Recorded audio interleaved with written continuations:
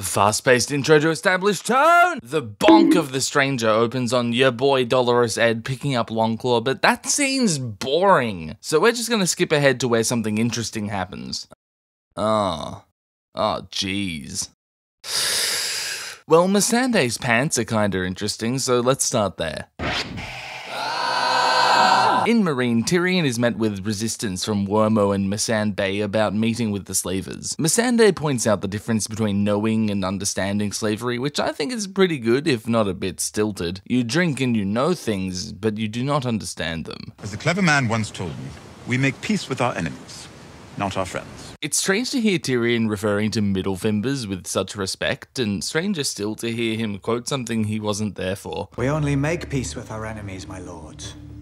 That's why it's called making peace. I'm then forced to imagine an interaction between Tyrion and Baelish where Petyr said this, and I just can't do it. The only times they were both in King's Landing were in early season 2 and early season 3, and the only attempts at peace in either of those times were between Stannis and Renly. If you stretch the concept, you could maybe count the Lannisters and the Tyrells, but Tyrion had nothing to do with that. I know it's just a fun little callback the writers wanted to throw in, but I'm in charge here, and I say that you can't have fun unless it's internally consistent. Yep, that's right. All about internal consistency here on the Wee Grab. Our queen tried to make peace with the masters, and they tried to murder her. Did she? Uh, after conquering their cities and giving only lip service to their governance thereafter, Daenerys' only peacemaking efforts in season 5 were domestic, marrying Hizdahr and reopening the fighting pits to placate the sons of the Harpy. Previously, Daario and Hizdahr were in negotiations with Yunkai, but Dany refused their terms, only starting to compromise after Barristan was killed. Yunkai isn't even mentioned between Daario's return to Meereen and Dany's departure from Meereen, So that's fucking dumb. Missandei also attributes the actions of the Harpies to these masters, which, like, I know Varys said that they're behind the Harpies last episode, but first of all, that's so fucking boring. And second of most, why does Missandei trust Varys, whose intel came from a single woman? Why, it almost seems as though there's something more complicated going on with the Sons of the Harpy. Our next scene is the next scene. The slavers want Dany's crew to naff out of their bay,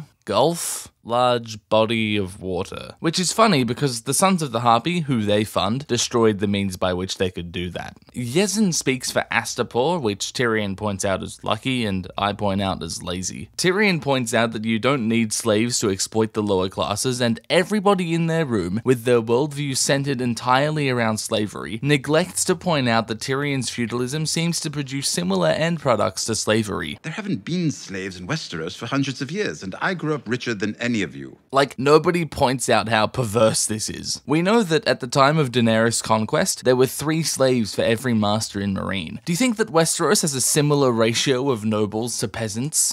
yes. I'm not even making any social commentary, just saying that there are so many opportunities for this story to say something interesting, and it flatly refuses to do so at every juncture. This conflict in Slavers Bay is just begging to have its complex causes examined, but instead of saying something about culture and rulership and economics and the way those things relate and the way they change or resist change, season 6 reduces all of this to a unidimensional good versus bad story. Now, slavery is bad, it turns out, and not slavery is good, but there's so much more going on here that is just compressed into nothingness. The domestic unrest, the resistance to Dany's foreign occupation, i- yeah, it was just funded by these bad guys. Season 6 presents a situation roughly analogous to contemporary real world issues, and the solution it proposes is have your dragon explode the bad guys. I'm not here to change the way of the world. Slavery is the way of our world. You don't need slaves to make money. I hope I don't have to point out how incoherent this is. After being in charge of Meereen for almost half a season, Tyrion finally does something. Hooray! However, he's a moron because he sets up this transitional period which is both fine and dandy. Oh. But he holds the slave cities to this condition under threat of nothing at all. And he asks them to pretty please stop supporting the naughty boys. I get that they want to portray the outsider perspective Tyrion holds as being insufficient, but at the same time, time, Tyrion is supposed to be a shrewd diplomatic giga genius. So basically, the slave cities have returned to their ways. Good to see Razdal again, by the way. This guy's fun. And they're funding the baddies, and Tyrion's tactic for de escalating the conflict is asking them nicely. And he's not even that nice about it. I guess he does bribe them with titties, though. You will not receive a better offer. You have offered them nothing! Inside a big dome building, some guys talk about some stuff. After they decide to excuse a brutal murder that happened earlier in the future, they bring in this chick who, oh, that's Daenerys. This guy says, which means, and I checked multiple sources on this, I'd like to know what a Khaleesi tastes like, which is fucking insane. Firstly, that's against the law, and you're gonna have to go to jail. Because as was discussed this season, it is forbidden to lie with a Khal's widow. Secondly, you are a Khal. You fuckwit. If you want to know what a Khaleesi tastes like, fucking maybe ask your wife, you know, the wife of you, a Khal. What would that be? Anyone know? Vote now on your phones. And lastly, just shut the fuck up. Why are all of these Dothraki the exact same character? All of them, except for maybe Moro, are indistinguishable from one another. If I were one to make low blows, I might ask if that tells you a little bit of how the writer's room considers foreign cultures. And I am one to make low blows. Nah, I'm not calling them racist just lazy. Well, at least Moro stands out, suddenly dropping the sex obsessed frat bro act when he finds out about Dany's circumstances.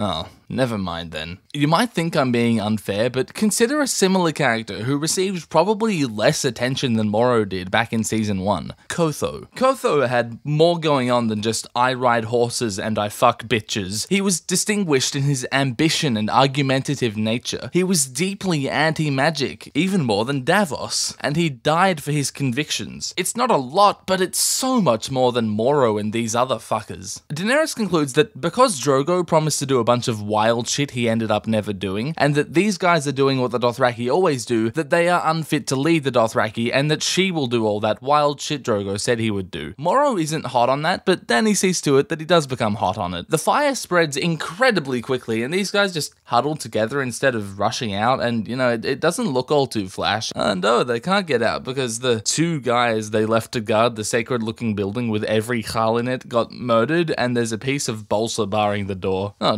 Daario and Jorah here. Weird. Dany throws more fire at Moro and it just rushes towards him because I, I guess she can just tell it where to go. Fire doesn't work like that. It's fucking fire. It goes upstairs. So the whole fucking city shows up to watch what you'd reckon is an extremely important building filled with extremely important people burn down. Like good extras, they do so silently and in complete stillness. That's how I'd react if my culture's most revered building burnt down. Thankfully, the Harold Holt Memorial Swimming Center stands strong to this day. So, Daenerys emerges from a flaming inferno. This is miraculous, and that's okay. This is fantasy. Miraculous things can happen. Dany previously survived Drogo's pyre, and she held a really hot thing once, and she likes a hot bath, so I can't claim that this has come out of nowhere. After all, Targaryens are fireproof, right? Targaryens are not immune to fire. The birth of Dany's dragons was unique, magical, wondrous, a miracle. She is called the Unburnt because she walked into the flames and lived, but her brother sure as hell wasn't immune to that molten gold. So she won't be able to do it again? Probably not. Oh, that's weird. Almost as though Targaryens are generally less sensitive to heat than others, but not immune to fire. Almost as though there was an entire civil war where a bunch of Targaryens were burnt to death by dragons. Almost as though Dany's survival at the pyre was a once-off miracle. But wouldn't you expect to see other mystical shit going on at the pyre then? Oh. I'm not entirely certain what the mechanics here are. What exactly has activated her fireproofness. Like, it didn't work for Viserys, so would Dany have survived the Golden Crown? Is it just like fire can't burn her skin? Don't people tend to asphyxiate in fires? So does Daenerys, unlike the overwhelming majority of known life forms, not require oxygen to survive? But you can't criticize it because Daenerys is our queen! Yes, I know. I like Daenerys most of the time, but this is fucking mental. I guess it is foretelling of Dany's tendency to solve problems by exploding them. Hey, maybe she would have actually gotten on with Cersei. But it's cheap of the show to keep portraying this as a good thing and then suddenly at the last minute pull the rug out and tell us it was a bad thing all along. You know, cake had,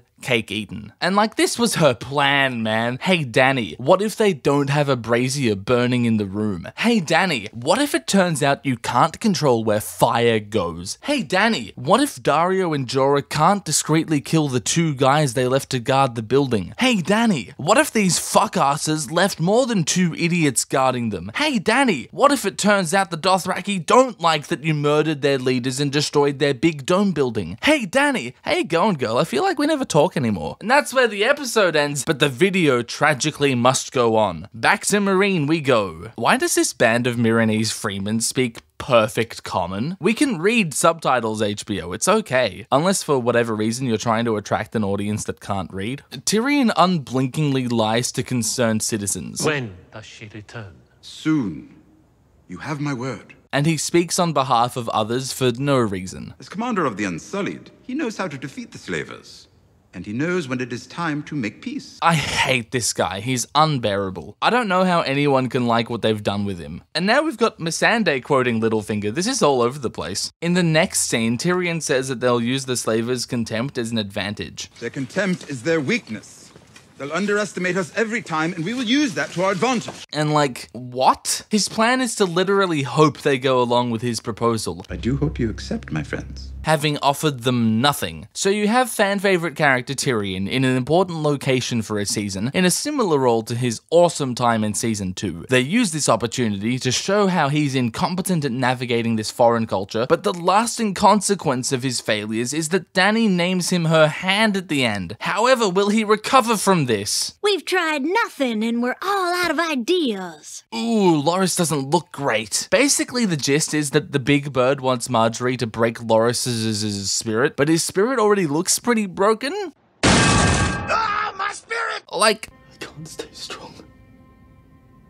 Never was strong. I guess that seeing him like this leads her to playing along with the sparrow, so maybe she's got a small brain, and the point was actually to extort her loyalty by breaking her spirit, showing her what they've done to Loras. So that's cool, and I like this scene, it's fine. I would have liked to see Loras lament specific actions of his, maybe restate or recant his love for Renly, I don't know, he's not much of a character at this point. Anyway, Dave and Mel talk about the zombie. She should be starting a religion over this, but she's just hanging out, and he should I don't know, be apologizing for the time he tried to kill her over values he apparently no longer holds. She tries to leave when he asks her about Stannis, which is exactly what Benioff and Weiss do if you ask them about Stannis. Senile Dave asks a question, What happened down there? Melisandre answers, There was a battle. Stannis was defeated. Then Davos asks a follow up question, What happened to the princess? which Mel clearly doesn't want to answer, but luckily, Brienne, who is here now, steps in to answer the first question, which she probably wouldn't have been able to hear and had already been answered. I saw what happened. I saw Stannis' forces defeated in the field. Like, no, Brian, the question was very obviously about Shireen. What happened to the princess? It's just such a random interjection. Season 6's Brienne is such a shitter. She then admits to unlawfully murdering a man, something for which she is never held accountable. Epic. Davos looks annoyed at Brienne, but never again brings up that she killed the man he owed everything to. Melisandre successfully slinks away so that she doesn't have to answer Dave's question, because of course there's no way he could just ask her again later. It's not like they're in the same location all the time. Dany chats with the Dosh Khaleen in that building she burnt down earlier, and they're really mean to her, even though they bowed down to her. That's strange. They introduce this Lhazareen Khaleesi for Dany to bounce off of, give her a girlfriend she can go to the bathroom with. I, I jest. This scene has some discussion of the power women hold in Dothraki society, which is interesting and kind of gives some grounding for Dany doing the thing she does later on earlier. Jario and Dora, who was somehow in the exact bushes Dany chose to go pee in, accost her and her new best friend at knife point. She decides on the spot that they're not going to escape Vaes Dothrak, they're going to change Vaes Dothrak. I guess spurred on by the discussion about women and power. Okay, that's not bad, except for her plan being insane. She also says, We will never get out of Vaes Dothrak alive. even though the dude snuck in fine, and the Dothraki don't seem that interested in guarding anything. This lady instantly agrees to help Dany overthrow the culture that kidnapped her, go figure, brilliantly setting up her doing anything later at all. Yeah, this seems kind of weird and random. Given how batshit the plan is, I feel like if maybe you'd given the script a second draft, you'd have found a way to make a more believable plan that somehow involves this lady who just said she wouldn't betray your characters. Like, am I nuts for taking issue with this? What's the point? I know that dropping plots is just about in vogue for Game of Thrones at this point, but dropping a plot you set up in the same episode? That's an any percent world record, surely.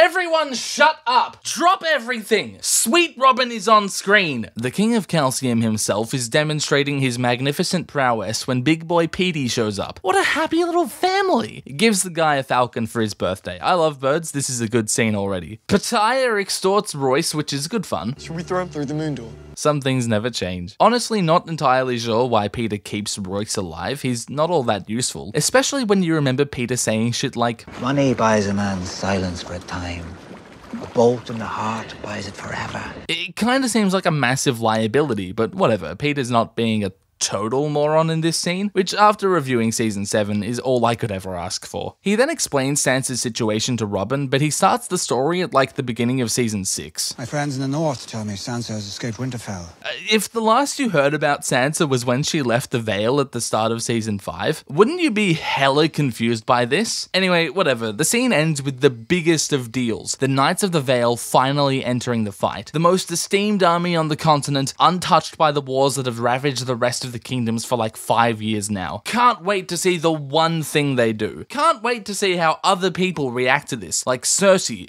or Olenna. You know, it seems like the writers kind of forgot that Littlefinger exists outside of whatever plot Sansa is relevant to. I went on about that enough in season 7. Must move on. In Vaes Dothrak, Daario makes a funny before Jorah tries to bluff some dudes who can tell they're not merchants somehow. Vaes Dothrak isn't off limits to foreigners or anything like that, so I don't know why they're snooping around in the first place. They could just be walking through the streets like anybody else. A fight happens, it is so very dark. Daario kills them both and of course never faces repercussions for his breaking of the sacred law that has been established since season 1. He makes a quip about his dagger that I have to pretend to not understand because of the dumb structure of this video. He covers up his stabbings with a big rock. Next! Pycelle is doing nothing to help Tommen and Cersei tells him to fuck off. He does so at a comical pace. He smiles at Cersei on his way out, which is just like, what? This guy is so fucking weird. Even though they cut that fishing scene from season 3, it's still canon that he's putting on an act, but uh, remind me again why he was doing that? All I did,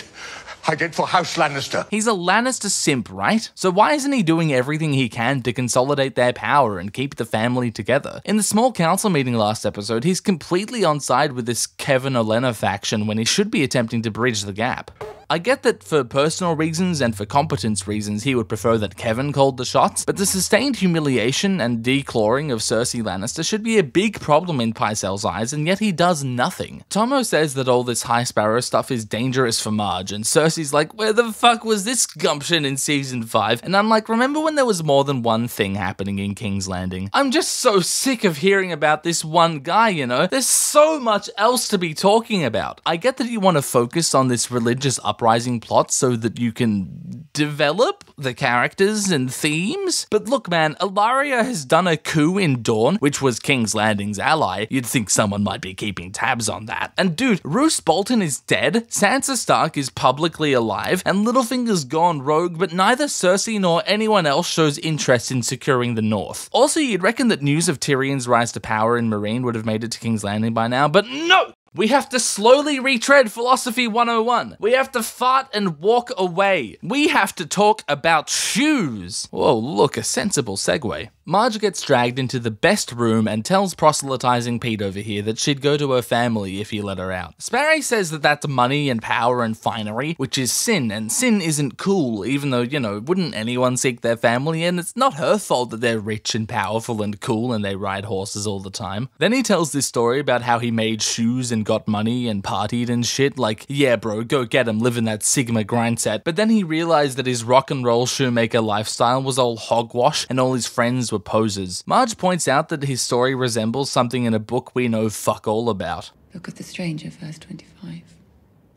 But his story isn't exactly like the block of the Strangler, I guess, so that was fun. Thanks for writing that dialogue in. He apparently just abandoned his king shit ways to seek the noble poor. It's so well acted, but I'm not sure I understand the point of it. If it's to convince Margaery to play along, I fail to see how that works because she does that based on her interaction with Loras, which he could have forced at any time without ever rambling about shoes. If it's not for that reason, then I fail to see why he tells the story at all. If you think you can help me out with that, please leave a comment at idon'treadyourcomments.co.uk slash this plot is boring and you can't change my mind.html. Now seriously, I'm still unsure if he's for real or just fucking with her, but in the end it doesn't even matter because, well, they all explode. You know, just like in philosophy. Plato's cave ends with a big explosion. At the end of a long and perilous jetpack ride, Theon reaches Pike in a manner that can only be described as fucking somehow. Upon entering the room where all the scenes at Pike happen, they do this thing where it looks like the first shot of Balon in season two. Like, look at that, isn't that neat? Isn't that a worse color palette? She's really pissy at him for that awful scene in season four, but really, it's not Theon's fault that a shirtless Ramsay Snow somehow defeated a boat full of men while charging shoulder first into swords. No, we're not doing a season four piss take. Have you seen season four? She asks him why he came back here, and he says, Where else could I go?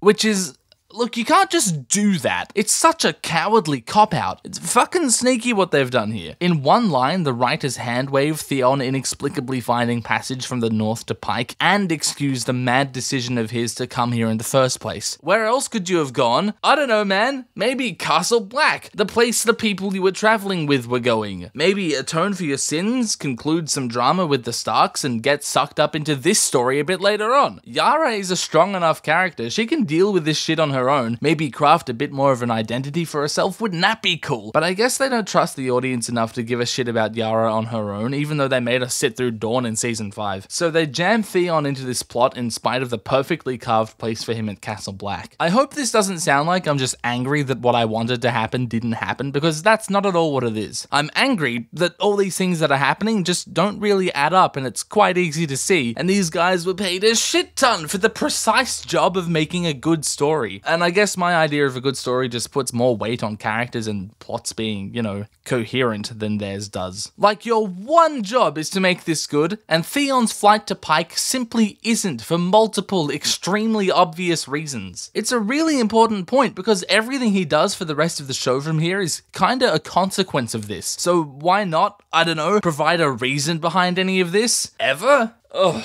Like, Yara's pretty quick to accuse him of coming back to claim Balon's crown, but yeah, he didn't know about that, so it's not that, but why then? What are you doing here, Theon? And then he says that Yara should be queen, probably just because she's his sister, and that's the whole scene. Daario and Jorah have made it to Vaes Dothrak, and I'm really starting to wonder what the point of presenting this non-linearly is. This Dutch guy, whose name I refuse to pronounce correctly, calls Jorah old and taunts him about Daenerys. Jorah is angry and wants to stab him a little, but not while they're on the clock, and I like that this combative dynamic is instantly contrasted when Daario spots the grayscale. Like his demeanor instantly changes as he realizes what Jorah is dealing with. And him holding onto his knife is good too. Daario doesn't care much for culture and tradition, and he does care much for solving problems with violence. Given all this, and that I'm just generally a fan of these bros hanging out together, I quite like this scene. Yeah, Glimbert, you're always so negative. Shut up, no I'm not. As if to instantly discredit what I just said, the goddamn pink letter arrives during an awkward luncheon, which Davos isn't present for because the writers don't know how to deal with him and Brienne in the same room. In A Dance with Dragons, the pink letter is sort of kinda the climax of Jon's story. Everything about it riles Jon up, regardless of who actually sent it. Arriving after a book long series of shaky decisions of increasing importance, the letter pushes Jon over his limit and he declares his intention to fight for Winterfell, which in turn seems to push certain conspirators over their limit and they murder Jon. But in the show, Jon's already done his death arc and he already has his sister safely in his custody. Divorced of this context, the letter is not only a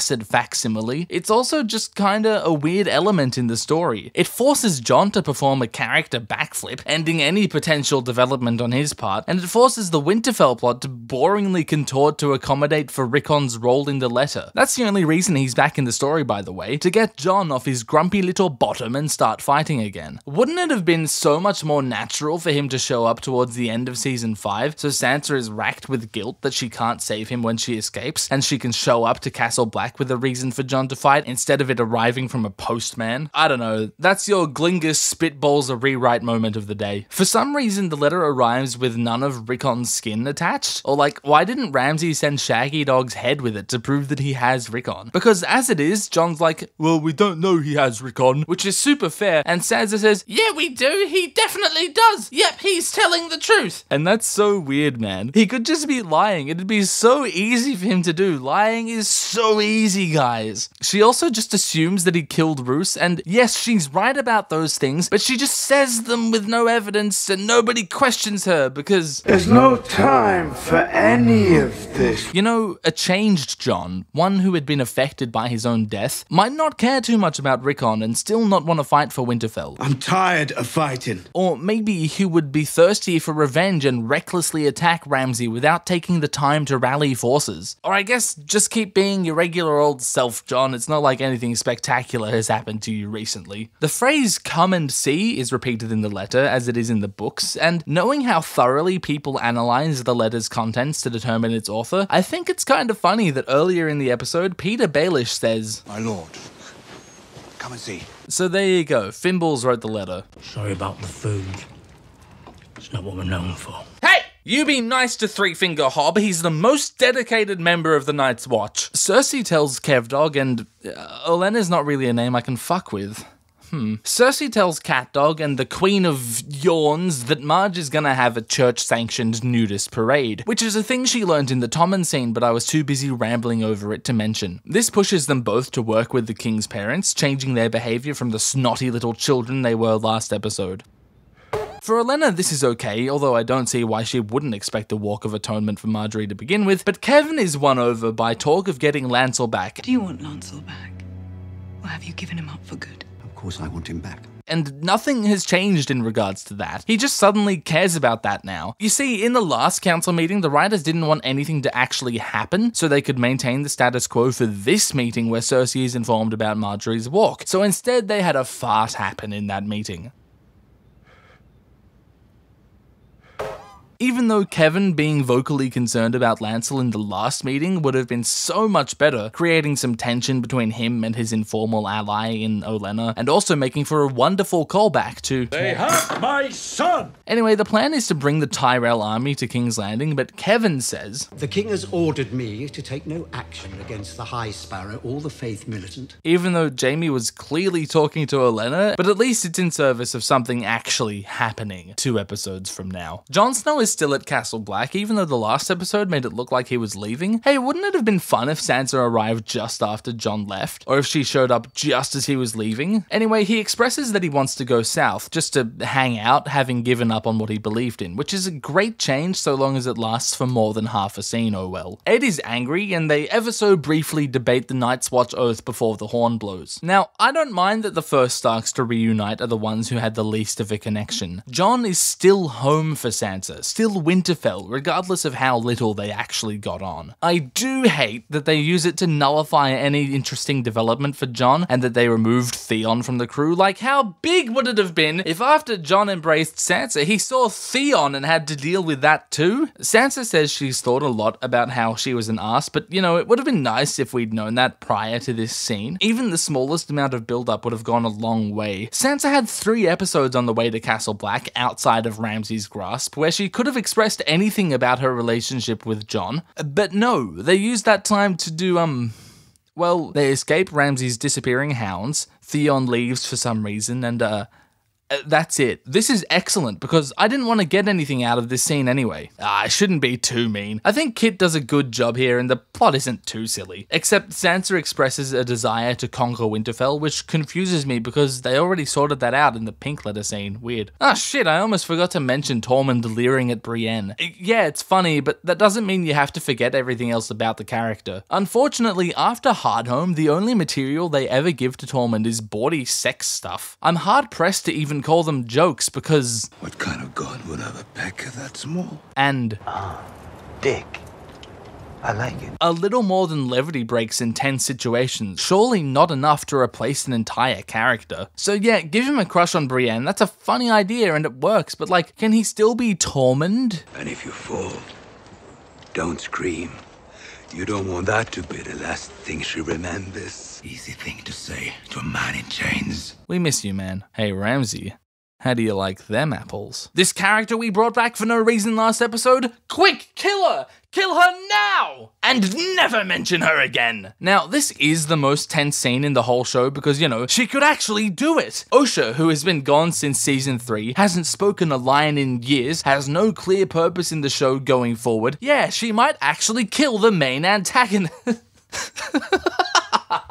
uh, this is a nothing scene. We learn nothing about anything, gain no insight on anyone's character except for kind of Osha, a tertiary character everyone had forgotten about, being a naive moron who thought this would actually work, and no plots go in any direction. Remove this scene. That's the sentence. I'm not elaborating. I'm breaking form, bitches. The medium is the message, you fucks. Yeah, this scene, get rid of it. That other scene, take Osha out of it. Done. I don't hate Osha, just get rid of her. Write a line for Rickon about how the Umbers killed her, except you can't because his voice is broken. Ah shit, I fucking elaborated. God damn it. I just can't help myself. It's not an addiction. I can stop elaborating whenever I want. I just don't want to stop. It makes me feel good. But what would you put instead of it, Glim Pimp Pimp Pimp? I don't know, maybe something that makes Rickon an actual character? Or how about the two new dudes introduced at Winterfell, Ramsay's mini bosses? You know, maybe give them something to do because really all they do is show up, hang around, and then die later on. Nobody gives anything resembling a shit about Smalljon Umber, and Harald Karstark is so forgettable that I called him the wrong name in episode 2. Ramsay is so fun to watch, and Winterfell is a place that the audience cares about, and yet they do nothing with them throughout the majority of the season. What are you doing? Go on,